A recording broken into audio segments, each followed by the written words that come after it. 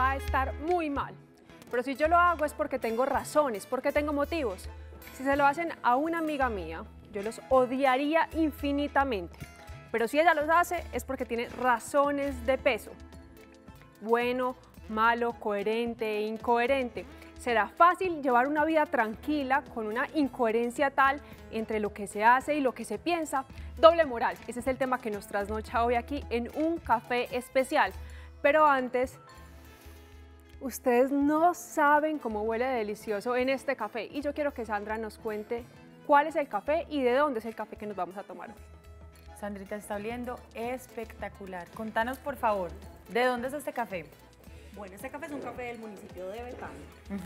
Tiene un aroma, una fragancia a chocolate, a miel, a caramelo. Tiene unas notas también a chocolate y a vainilla, un cuerpo cremoso y una acidez cítrica. Pero si Sarita estuviera aquí para donde yo estoy, se estaría muriendo porque huele increíble. ¿Y cuál es el método con el que lo estamos preparando? Hoy estamos utilizando un Aeropress, que es un método viajero, se le llama método viajero por el material en que está hecho y porque los apasionados del café lo pueden llevar a cualquier parte. Y como puedes ver, es muy parecido como a una, como una jeringa. Entonces es un método que trabaja presión, más o menos parecido como a lo que trabajaríamos con la máquina expreso. O sea que el café que nos vamos a tomar hoy va a estar delicioso. Bueno, y tenías como alguien por ahí que te había dicho que le mandara saludes. ¿Quién era? Claro que sí, es un caficultor del municipio de Yolombó que me dijo, Sandra, mándeme saludes, que no importa, yo voy a saber que son para mí. Entonces, Además que nos admira.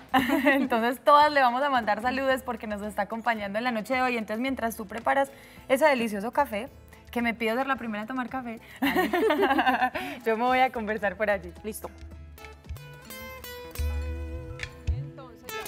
preparadas para hablar de este tema que nos trasnocha. Hoy nos va a trasnochar un poquito menos, hoy solo nos va a trasnochar media hora, que es la doble moral. Muy buenos días, niñas, ¿cómo están? Estamos contentas, este tema nos anima. Pero pilas, que tenemos dos personas nuevas. ¿Quiénes son ustedes? ¿Por qué están acá? Dos nuevas para el combo. Empecemos. De pelionas. Sí, siempre bienvenidas. Bueno, mi nombre es Natalia Londoño, yo soy docente de AFIT, soy comunicadora social, estudié como media carrera de filosofía, entonces también creo que aquí tengo cosas que aportar. Bastantes cosas para decir. Y muy contenta. Gracias Nati, siempre bienvenida a este Gracias, café. ¿Y tú? Bueno, mi nombre es Laura López, eh, ahora soy independiente, estudié ingeniería administrativa, tengo un MBA también, eh, me estoy dedicando a una marca de calzado, feliz, es otro mundo, pues hacer algo diferente. Y bueno, por la ingeniería tengo mucho racional y vamos a ver cómo juega con ustedes. Vamos a ver cómo nos va pues hoy, bienvenidas las dos y ya están acá. Una que acabo de ingresar al pool y Cardona, que ya también es como la utilería del programa, ¿cómo está? Pero bueno, como les venía diciendo, el tema que hoy nos trasnocha es la doble moral. ¿Qué tenemos para decir nosotros de la doble moral y qué tienen para decir ustedes? Yo los invito a que comenten llamándonos al 232-3903, ya me pusieron allí los teléfonos, soy muy feliz, y al 018 51 50 15 y también nos pueden escribir a, en Twitter a arroba un café especial, en Facebook a un café especial y en Instagram a arroba un café especial. Bienvenidos para hablar de este tema. Y yo, para que empecemos a hablar de la doble moral, les voy a preguntar a ustedes, para ustedes, ¿qué es la doble moral? Antes de yo decirles cómo es entendida o cómo la entiendo yo, ¿quién es alguien doble moral o qué es tener doble moral o cuándo aplica? Yo diría que es cuando falta la coherencia entre lo que piensas y lo que dices. Muchas personas dicen, no, claro, es que yo soy súper ambientalista, yo cuido todo, pero bueno, vamos a la casa y no reciclo, no cuido. Entonces es, o sea, realmente no ser la misma persona en los diferentes espacios donde se encuentra. Sí, predicar y no hacer. O sea, decir que uno cree en algo y finalmente no hacerlo. Es, sí, la incoherencia llevada a los ámbitos de la vida que tienen que ver, pensaría yo, por el hecho de que sea doble moral, con principios filosóficos que te rigen, ¿cierto? Pensaría que ahí, ahí estaría definido un poco la, doble moral. Yo digo que es actuar mucho desde la conveniencia de cada situación. Y muchas veces se aplica también el dicho popular de el que peca y reza empata. Como promocionamos este programa. Sí, total. Bueno, entonces, hablando de eso, yo tengo una pregunta que estaba más adelante, pero se la puedo hacer ya. ¿Es lo mismo ser doble moral que ser hipócrita? O será diferente, o uno es más matizado que el otro, o todos los hipócritas son doble moral, o el mismo o en el sentido contrario. ¿Ustedes qué dicen? No sé, a mí lo que me parece es que la diferencia está entre la razón y la parte que le concierne más a los sentimientos. Pues porque uno con cabeza fría puede tener una concepción ética. Yo pienso que lo bueno es esto, pero a la hora de yo estar involucrada es que eso ya no es tan fácil. Creo que es ahí cuando se produce ese choque, pues esa, o lo que yo, esa actuación falsa o esa doble moral que llamamos. Yo te entiendo ahí un poquito y es, bueno, es lo que debería ser, entonces para, para uno es muy Claro, fácil es muy hablar desde el fácil. deber ser. Ah, no es que esto debería ser así, o sea, pero cuando le toca a uno dice, eh, Entonces ahí hay un choque entre, claro, pensar, es que pensar y hablar es muy fácil. Con cabeza fría yo me siento, no sé si pienso, pensemos en el aborto, ¿cierto? Cosas que no me tocan, pero ya cuando me tocan, ya ahí no es tan fácil seguir pensando así racionalmente. Y yo pensaría que la diferencia un poco entre la hipocresía y la doble moral es que la hipocresía tiene que ver con lo que le digo a otros, o sea, como con respecto a otros, mientras que la doble moral es como un, juicio más personal. Es decir, si yo, por ejemplo, eh, soy amiga de una persona y a sus espaldas hablo mal de ella, pensaría que es hipócrita. Y ahí hay una implicación de doble moral, pero la doble moral está jugando más como esa persona, cómo actúa con respecto a sí Sí, misma, la qué es lo que dice, exacto. Como ya en su vida sin, sin que esté el otro, qué es lo que hace, qué es lo que dice, puede ser en su intimidad, pues, como que de pronto ahí hay una diferencia. Pero, pero en efecto, el que está siendo hipócrita está teniendo una doble moral porque está lo mismo, predicando una cosa y haciendo otra. Yo diría que es, es precisamente algo como lo que estás diciendo, es más de ideología. O sea, la doble moral es cuando eres, pues no eres coherente con algo que es tu, supone, se supone que es tu ideología. Para el hipócrita es más de situaciones y de relación con personas. Para nosotros también es muy fácil decir, este sí es un doble moral, pero de quinta, o es un hipócrita, porque también es muy fácil juzgar, pues, pero uno nunca va a Claro. decir, yo estoy de un doble moral. Ahorita justo antes del programa estábamos riéndonos con una persona que no va a nombrar, que decía, yo doble moral en la vida. Pero yo les tengo una pregunta, ¿uno cómo descubre que hay es doble moral? Pues ya para que entremos en materia, uno... Yo he juzgado a muchas personas porque a muchas personas de la política, a muchas Claro. personas del mundo de lo público, a muchas personas eh, con las que me relaciono y eh, a mí me enerva la doble moral, pues me da ira mala, pero ustedes cómo lo... Pues que yo creo que claramente una mentira siempre se va a saber y ser un doble moral es vivir en una mentira. O sea, ser un falso constante, eh, perder como tu esencia y yo creo que ay, es que exige tener uno como buena memoria, ser muy inteligente para mantenerse siempre como... como Ser coherente. Sí, pues entonces yo digo que uno sí o sí va a caer en la mentira en algún momento, o sea, o porque tenés personas que te pueden estar conociendo en diferentes círculos, o porque en un detalle tan simple que te ponga pues como a prueba vas a mostrar lo que realmente sos. Yo creo que la mentira en algún momento sale pues Eh, como la luz. Sí, la incoherencia Sí, sobre todo. A propósito, ¿vos has sido doble moral en algún momento de tu vida? Sí, claro. Ah, ¿Y cuándo? pues o para empezar. Yo era la que estaba diciendo al principio del Ah, programa. no. Bueno, confesó, Miren, hay un aspecto de la vida en, la- en el que somos muy doble morales y realmente en muchos, pero nosotros no, sino pues toda la sociedad. Y es en la forma de referirnos muchas veces a la mujer.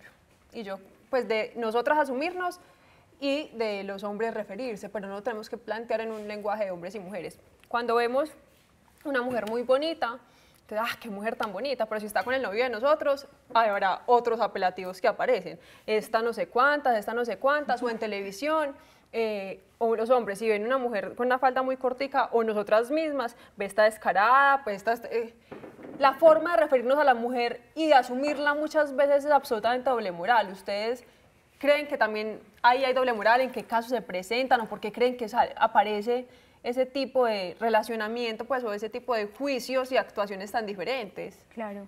A mí me parece que a la mujer sí se le juzga muy duro a veces en ese sentido, más que a los hombres. Pues eso que estabas diciendo, yo estoy de acuerdo. Pero también las mismas mujeres nativas, ¿no te Sí, parece? por Pues eso, porque es que yo no conozco mujeres, un ser más pensando- duro con, con nosotras, Claro. o sea, como una crisis intergremial, pues una cosa tan impresionante. Y es que nadie juzga más duro a otra mujer muchas veces que otra Claro. mujer. Pero y yo no, la relación. Pero no uno. sabría si es doble moral, o sea, porque si por ejemplo ves a una chica muy bella en televisión o en la calle y sabes que es bella, ya luego si está con tu novio, si le tenés celos, pues no vas a dejar de saber que es bella, sino que simplemente vas a tener rabia porque por lo que está haciendo, pues. Hasta uno le deja de parecer bella. No, al revés, sí, ella está tiene mucha más rabia porque sabe que es bella. Que en lo profundo sabe que sí. Uno se Pero yo estoy de acuerdo contigo. Yo no diría que ahí es un caso de doble moral. O sea, si hay de pronto un poco de hipocresía, si hay de pronto, pues, estamos tratando de ocultar lo que realmente sentimos. Pero no hay doble moral porque no hay como una ideología ni, ni, ni, hay una forma de pensar que yo esté transgrediendo. Entonces yo pues, pongo, a mí sí me parece. Yo creo que de pronto encontré aquí un ejemplo pensando que de pronto los, o sea, como las personas de pensamiento muy conservador o los, digamos, estoy pensando como en un joven conservador que dice que se va a casar y que tiene como esta idea de la mujer que tiene que vestirse de cierta manera o que le prohíbe a su novia eh, ponerse unos escotes o cosas así, pero al mismo tiempo va a una discoteca y perrea. Entonces como que ahí me parece que hay una doble moral clara porque finalmente está refiriéndose a otras mujeres como, no sé, como objetos de deseo, eh, claramente expuestos y se está refiriendo a ellas en esos términos, pero a la, a la mujer con la que está eh, no le permite de alguna manera, o sea, tener esas mismas libertades las que se está imaginando a la persona con la que está bailando o de, o de la que se está hablando en esa canción. Pues como que de pronto ahí eh, lo podría ver más claro y no sé cuántos de esos jóvenes existan en realidad, ojalá solamente existieran en mi pensamiento. Y, ese tema yo también quería tocar otro tema, yo sé que Paula, nuestra señora directora, me acaba de decir que hay una llamada, pero antes yo les dejo un tema entre tintero donde yo creo, Sarita Palacio metiendo la cuchara en el café especial, que si hay doble moral y es frente al caso de la infidelidad. Muchas veces en una sociedad en la que todavía nos falta mucho por madurar en, ciertos temas, eh, y es cuando, pues si el hombre es hombre, es que la mujer lo descuidó, o es que pues él es hombre, que a mí eso me, me, sube, pues el temperamento me pone altica al piso, pero si es la mujer, esa es una tal por cual, esa es una descarada, esa abandonó el hogar. Entonces, ahí tenemos el tema, se los dejo en el tintero, en tapo, como lo dejo yo usualmente, y tenemos ahora sí una llamada. Muy buenas noches, ¿con quién hablamos? Buenas noches, Sebastián. Sebastián, bienvenido a un café especial. Sebastián, ¿qué pensás vos de este tema que hoy nos trasnocha, que es la doble moral? Bueno, yo pienso que, que en general todos los seres humanos tenemos algo de, en algún momento manejamos la doble moral. Eh, eso, eso es, eh, todos hablamos, criticamos, pero en algún momento de nuestra vida caemos en, ese juego o en esa o en ese sentimiento. Eh, una de los de, las de las cosas que yo pienso que es más que más caemos es por lo menos el, doble moral en la sexualidad. Todos criticamos, todos eh, señalamos, todos juzgamos, pero en el fondo todos tenemos una doble moral.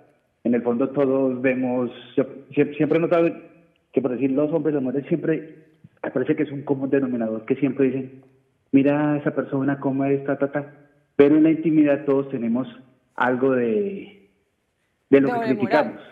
Sí, de doble moral. Sebastián, muchas gracias por acompañarnos en un café especial y así yo no quiera me toca enviar a mensajes institucionales. Ya regresamos en un café especial.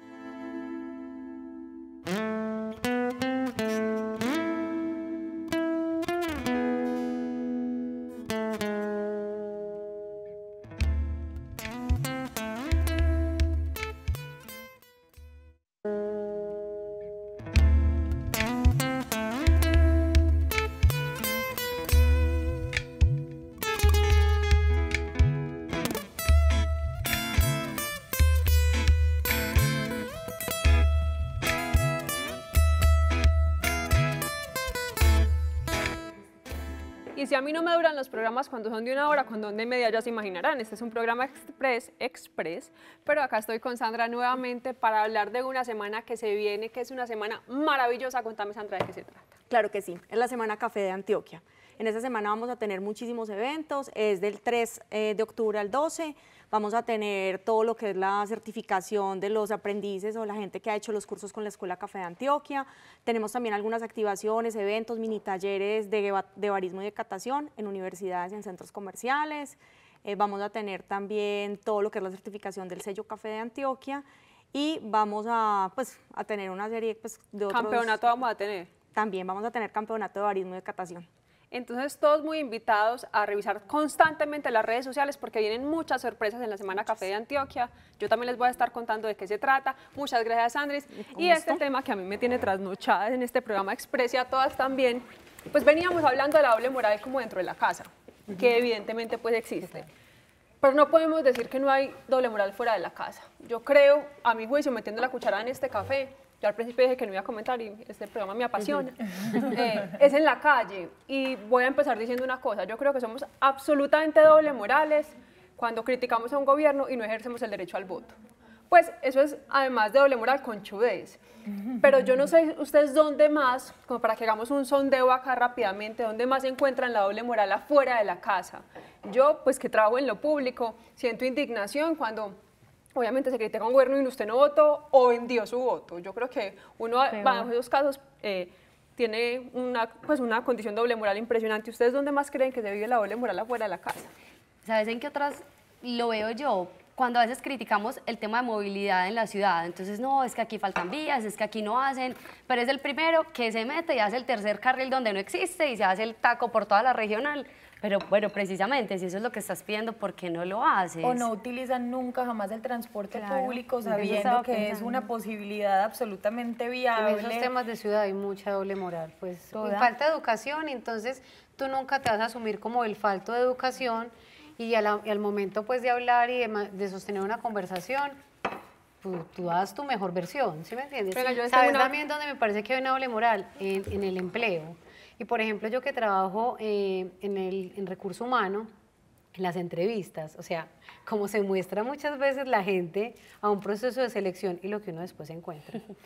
pues, yo creo que también es un acto de hipocresía muy, pues sí, yo no es que hay una línea pues nos tocaría con diccionario en mano, pero yo les tengo una pregunta que acá me la planteaba Paula, ¿y será que somos una sociedad doble moral? Pues por lo que hemos visto, por, miedo, por miedo a que nos juzguen fuerte, porque además somos una sociedad radical. ¿Ustedes creen que el miedo influye mucho de haber crecido pues, en una sociedad tan conservadora? Claro, yo, creo, que, esa debe ser la principal razón de la doble moral. Pues en, en sociedades tan tradicionales, tan conservadoras, que nos han dicho cuáles son los valores. Yo creo que a la hora de uno enfrentar, digamos, el mundo real o lo que pasa actualmente, eso es un choque muy fuerte. Yo no sé qué pasa en sociedades muy libres donde uno desde pequeño puede expresar lo que quiera.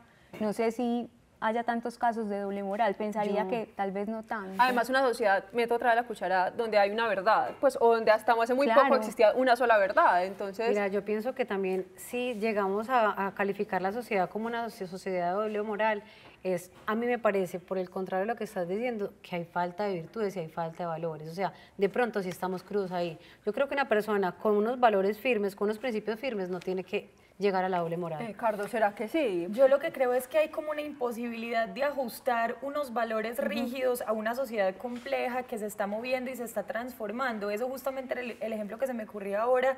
Em, de, la, de la doble moral en el discurso. Por ejemplo, la gente que habla de la tolerancia o el amor como unas grandes virtudes que tiene, pero no es capaz de soportar que alguien sea homosexual.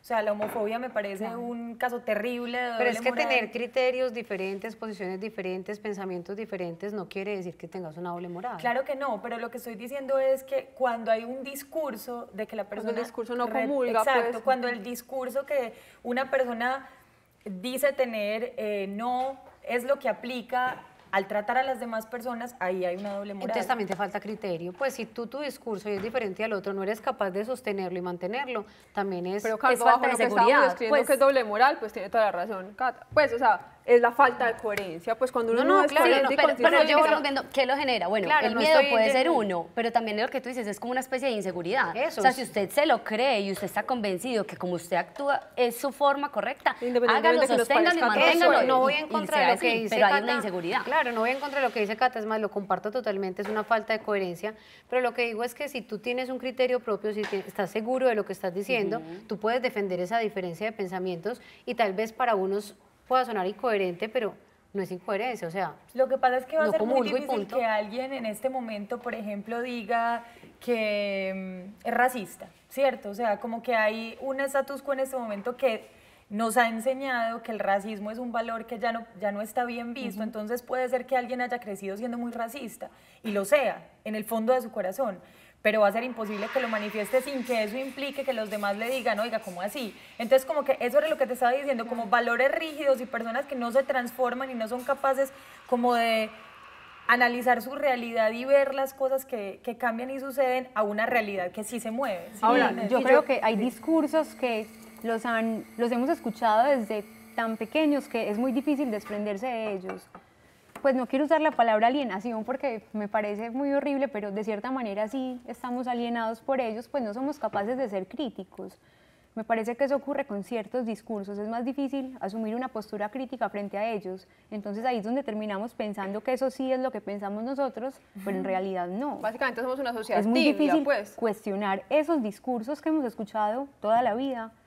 Me parece muy De complicado. pronto yo creo que es una sociedad que eh, no ha tenido la oportunidad, no ha tenido suficientes oportunidades de pensar por sí misma. O sea, somos como personas educadas en instituciones con discursos muy fuertes en donde es difícil tener un pensamiento propio. Entonces, como que uno termina, o sea, creo que es muchas veces el Uno caso. termina resignándose, pues, como Hay una como presión por una generar cosa al final una que doble viene moral. De, de, sí, esto es lo que tengo que creer y esto es lo que veo que pasa, entonces ya no sé cómo que Pero entonces, ¿qué se pensar porque somos como una sociedad mediocre? O sea, totalmente falta de criterio. Pues más que falta de criterio, yo creo que es, y metiendo a cuchara, es una sociedad falta de valentía para asumir el crítico, pues como para Sí, asumir la, es una falta de sociedad valentía, la posición una frente a la sociedad vida. cobarde. Porque finalmente quien no, pues quien de pronto a esos pensamientos conservadores que nos estaban educando prefiera actuar, opinar diferente, va a ser una grosería.